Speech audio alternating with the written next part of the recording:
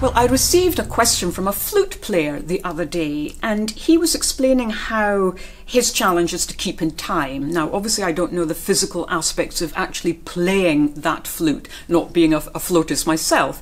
However, he was stating that when he plays and tries to keep time, he will tap his foot, but he will go with his own time, and that tapping of the foot will go with him, as opposed to actually keeping that time steady.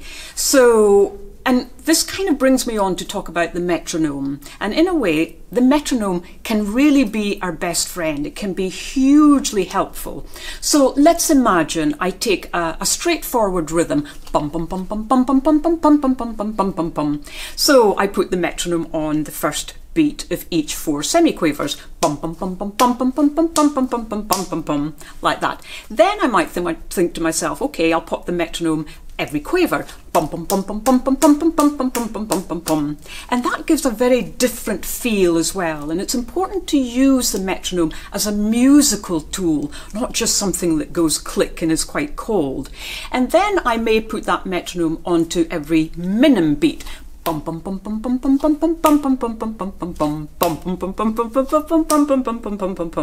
that's interesting because you've